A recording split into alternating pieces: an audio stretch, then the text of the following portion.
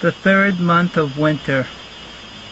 In this, the third month of winter, the snow continues to fall. I bow my head in silence, being baptized by snow's fall.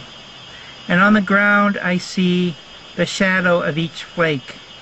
How something so beautiful to have a shadow side, to bury everything under a carpet of white.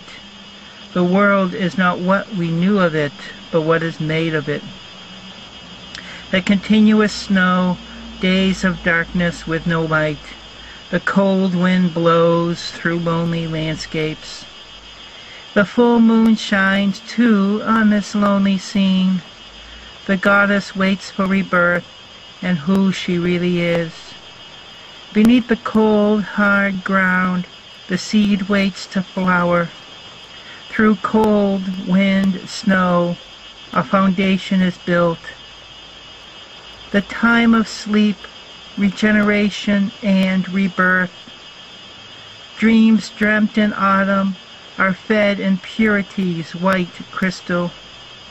In between who I am and the me that is seen, a secret behind big brown eyes, the wheel spins through time. Cross the gender barrier, the wind wills as a wind wills. Opposite of love is fear, opposite of hate is compassion. Nature is a song we cannot see. I see the goddess within, work as a sculpture to reveal her. The wheel spins through time, the goddess is revealed. Break through the cold, hard ground, delicate new birth. The journey continues, little birds sing, warm breezes hug the sensitive skin, playing with hair, in innocent as nature. The young birth continues to grow. Through childhood spring, little birds sing, the joy of rebirth, the connection of innocence.